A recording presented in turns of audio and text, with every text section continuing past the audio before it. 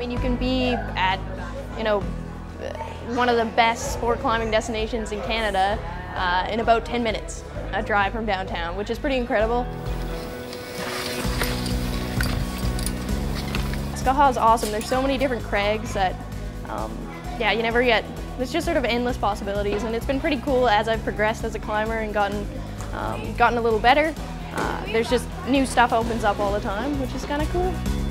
My boyfriend Andrew and I climb a lot together and uh, it's kind of nice to have a consistent partner because it makes it easy to get out there. You don't have to do too much like, are you available? Because we're pretty much always available to each other. But at the Bluffs parking lot, like I think Andrew a couple weeks ago, um, I wasn't available. I think I was working that day and so he just went out to the Bluffs and walked up to a couple people and were like, hey, do you guys need another partner? Like I'm happy to belay you, but I just kind of want to get some climbing in today.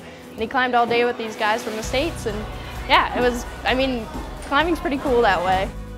If you're traveling through other countries and you meet other climbers and they'll say, oh, you must know where Skaha Bluffs are. Climbers will drive three or four hours to get to a, a climbing area like this, and here we have it right outside the city limits. It's like right there. It's big news in the climbing scene.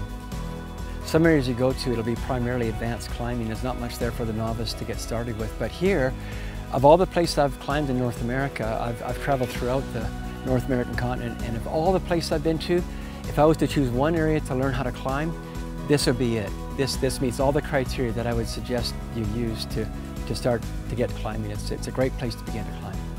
I didn't really, really like realize how, um, I don't know, how significant the Bluffs was.